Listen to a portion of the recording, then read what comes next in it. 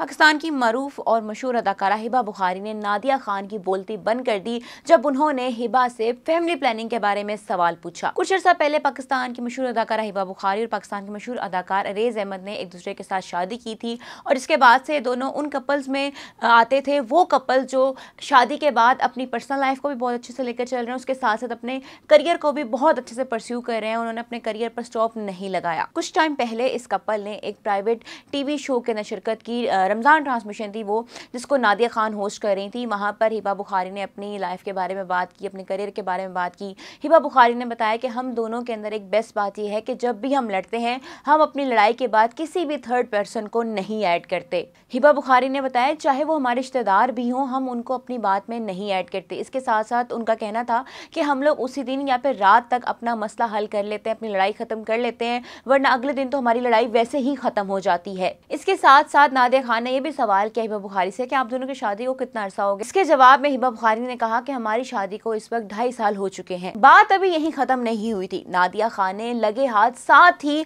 हिबा बुखारी से उनकी family planning के बारे में पूछ लिया, जिस पर हिबा बुखारी ने ऐसा जवाब दिया कि उनकी बोलती बंद होगी और नादिया खान शर्मिंदा हो गई। नादिया खान ने कहा कि तुम दोनों की शादी को ढाई साल हो गए लोगों को ये तकलीफ़ होना शुरू हो गई कि आखिर तुम दोनों के यहाँ बच्चे की पैदाइश क्यों नहीं हुई? लेकिन भाई, जैसे ही सवाल खत्म हुआ था हिबा बुखारी ने फ़ौरन से अकलमंदी का मुजाहरा करते हुए जवाब दिया कि लोगों को तकलीफ़ हो रही है तो आप ये सवाल क्यों पूछ रही हैं? जिसके बाद से ये क्लिप बहुत ज़्यादा वायरल होने लग गया। हर जगह ये शेयर हो रहा था और जो फैंस हैं, जो सारे फीन हैं, उन्होंने इस बात पर प्रॉपर हिबा बुखारी को सपोर्ट किया और उन्होंने जवाब दिया था। उसको बहुत ज़्यादा प्रेज़ किया कि जब भी कोई आपसे इतनी पर्सनल बात पूछे, इतना पर्सनल क्वेश्चन पूछे तो आपको ऐसे ही शटअप कॉल देनी चाहिए, आपको ऐसे ही जवाब देना चाहिए। हिबा बुखारी ने बहुत अच्छा जवाब दिया। लोग उनको बहुत ज़्यादा प्रेस कर रहे थे इस बात के ऊपर। इसके साथ साथ लोग हिबा बुखारी की बहुत ज़्यादा तारीफ़ भी करे तो कह रहे थे कि ऐसे लोगों को ऐसे ही जवाब देना चाहिए। किसी को हक नहीं है कि वो किसी से इतना पर्सनल क्वेश्चन पूछे, वो भी नेशनल टीवी पर बैठ कर लोगों ने नादिया खान को पहले भी रमज़ान ट्रांसमिशन के अंदर बहुत ज़्यादा तनकीद का निशाना बनाया था, जिस तरह के वो सवाल पूछती थी अपने मेहमानों से।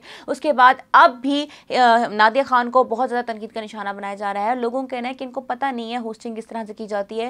ये अपने गेस्ट से बहुत ही पर्सनल क्वेश्चन पूछने लग जाती हैं और अजीब व गरीब सी बातें करती हैं एक नेशनल टीवी पर आकर। खैर, लोगों ने इनको बहुत ज़्यादा तनकीद का निशाना बनाया। यकीन नाजिन आपने भी ये क्लिप देखा होगा, हर जगह बहुत ज़्यादा वायरल हो रहा है, गर्दिश कर रहा है। अगर आपने नहीं भी देखा तो ब्लॉग में आपने पूरा क्रक्स जान लिया है स्टोरी का। आप इस बारे में क्या राय रखते हैं? क्या हिबा बुखारी ने जो जवाब दिया नादी खान को, वो जवाब ठीक था? आप इस बारे में क्या सोचते हैं? हमें कमेंट सेक्शन में ज़रूर बताइएगा।